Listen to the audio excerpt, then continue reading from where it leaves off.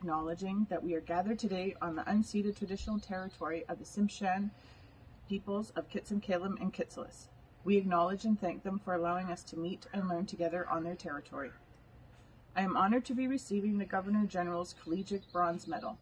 This prestigious award means a lot as it shows me that others have recognized the hard work I've put forth in my studies over the years. The road to completing my degree was not always a straight one. Obstacles of having to work full time in order to support myself and go to school at the same time were challenging. There were times that I would have to wait for a course to come available and then have to ask my employer for time off to attend the course. Having the support of my employer and coworkers and them knowing what goal I was to achieve helped. Upon the completion of my Associate of Arts degree with, with, a specialization in First Nation Studies, I plan on attending the campus of UNBC and entering the field of teaching this fall. Once I have completed my teaching program, I would like to remain in the Terrace area and teach here.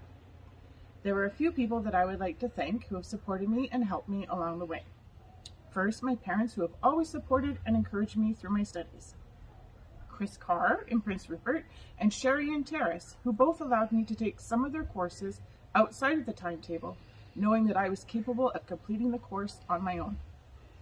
I will say the best highlight of my time attending Coast Mountain College was being able to attend the People of the Skeena Field School twice being out at the language preservation and cultural camp of the Kit, of the Gitxsan people, learning about their territory, their history, culture, and traditional uses, brought a sense of understanding of how the Gitxsan people are working towards the preservation of their culture for their future generations and allowing students, like myself, to learn about a culture that is important to this part of the territory.